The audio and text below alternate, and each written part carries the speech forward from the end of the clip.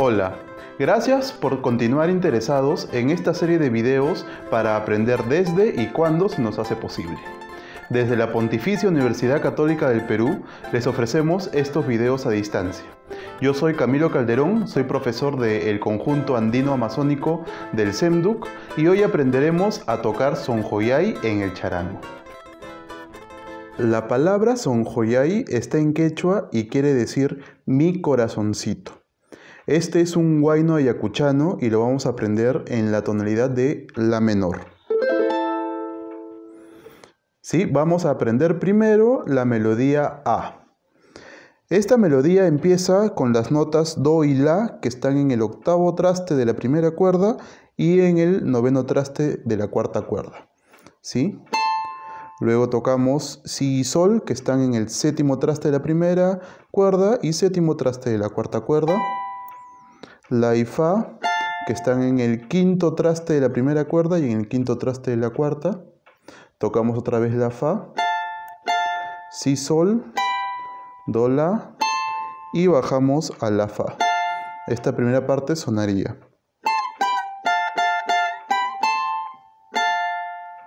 Luego tocamos otra vez la fa, si, sol, do, la, regresamos a si, sol la Fa dos veces, Sol, Mi, esto lo tocamos con el tercer traste de la primera cuerda y el cuarto traste de la cuarta cuerda, Fa sostenido, Re, que están en el traste 2 de la primera y de la cuarta cuerda, otra vez Sol, Mi, y por último Mi, Do, que son la primera y la cuarta cuerda al aire. Este, esta segunda parte sonaría así.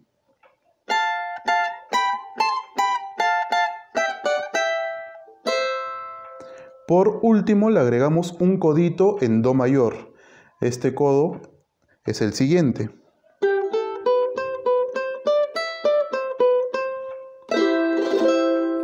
¿Sí? Estamos tocando Sol, tercer traste de la tercera cuerda, La, segunda al aire, Si, segundo traste en la segunda cuerda, Do, tercer traste en la segunda cuerda, Re, quinto traste de la segunda cuerda, Mi, primera al aire, regresamos al re, do, si, do y al final hacemos un acorde de do mayor en el cual solamente aprieto el tercer traste de la segunda cuerda y hago un movimiento hacia arriba y otro hacia abajo. ¿Sí? El codo sería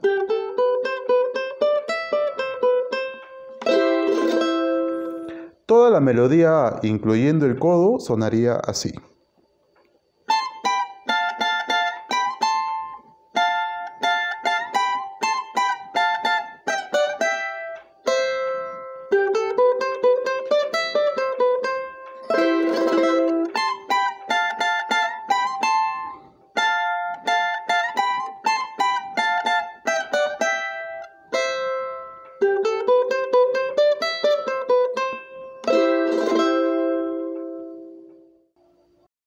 Ahora vamos a aprender la melodía B.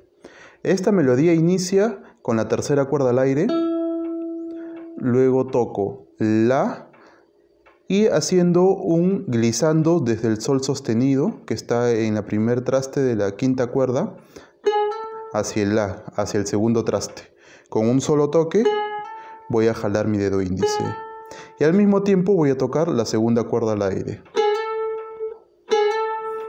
Toco otra vez La, luego Do y La, que están en la cuarta y la segunda cuerda al aire, Re y Si, que están en la cuarta y la segunda cuerda, segundo traste, Mi y Do, Re y Si de nuevo, Mi y Do, Sol y Mi, tercer y cuarto traste de la primera y cuarta cuerda.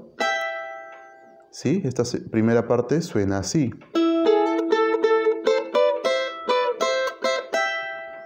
Luego toco un La y un Mi, que es quinto traste de la primera cuerda y cuarto traste de la cuarta cuerda.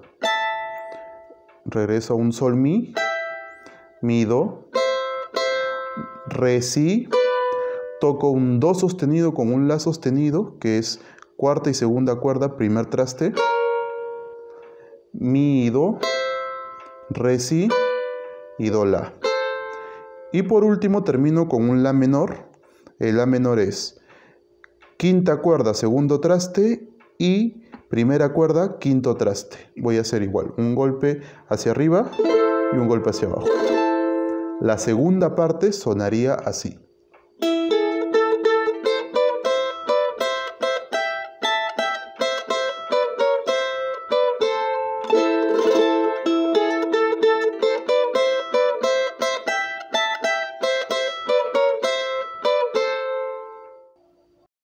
Por último, vamos a aprender la fuga. Este empieza con La y Fa, quinto traste de la primera y la cuarta cuerda. Luego bajo un Sol Mi, tercer y cuarto traste de la primera y cuarta cuerda. Mi Do, primera y cuarta al aire. Otra vez La Fa. Ahora aumento un Do en la primera cuerda, o sea, octavo traste, y la, la cuarta cuerda se queda en el quinto traste la fa, sol mi, la mi, que sería solamente subo el dedo anular al quinto traste de la primera cuerda, mi do. Hago sol mi, la mi, mi do. Y acá hago un ligado hacia el do. ¿Cómo hago esto? Voy a apretar el segundo traste de la cuarta y el segundo traste de la segunda cuerda y voy a hacer un ligado hacia el Do. Es decir, la segunda cuerda, este dedo va a jalar hacia la tercera cuerda y este dedo lo voy a quitar para tocar al aire. Este es mi ligado hacia el Do. Voy a hacer un ligado hacia el La, como hicimos en la melodía B. Y otra vez un ligado hacia el Do. Luego hacemos otra vez Sol Mi la mi, mi do, ligado hacia el do, ligado hacia el la y tocamos el la. Toda la fuga sonaría así.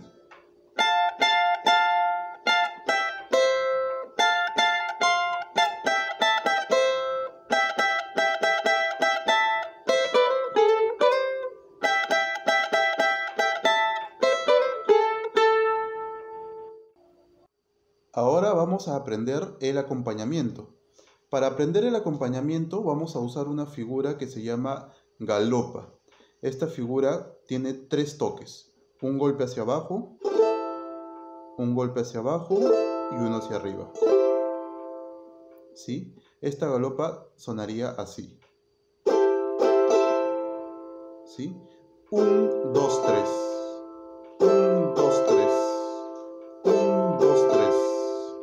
La tocamos varias veces, continuamente. 1, 2, 3, 1, 2, 3, 1, 2, 3, 1, 2, 3, 1, 2, 3, 1, 2, 3, 1, 2, 3, 1, 2, 3, 1, 2, 3, 1, 2, 3, 1. Ese es el rasgueo de Guayno.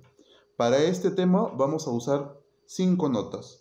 Vamos a usar la menor, que es segundo traste de la quinta cuerda y quinto traste de la primera cuerda. También vamos a utilizar Fa mayor. Es segundo traste, quinta cuerda, pero con el dedo medio. Primer traste de la tercera cuerda con el dedo índice. Y el quinto traste de la primera cuerda con el dedo meñique.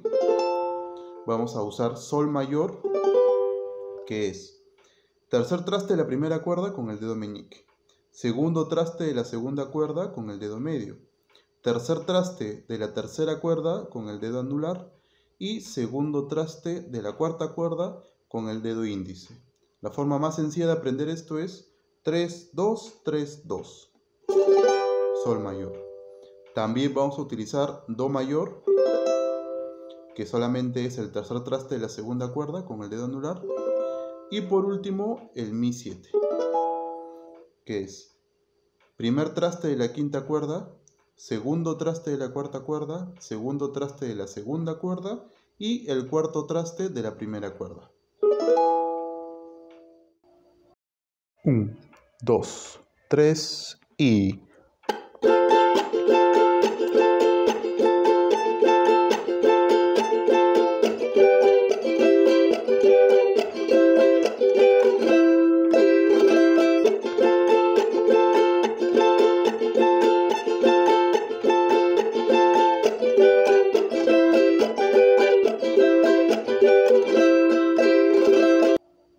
Ya aprendimos a tocar la melodía y el acompañamiento y lo estás haciendo muy bien. Ahora sí, listos porque vamos a tocar juntos.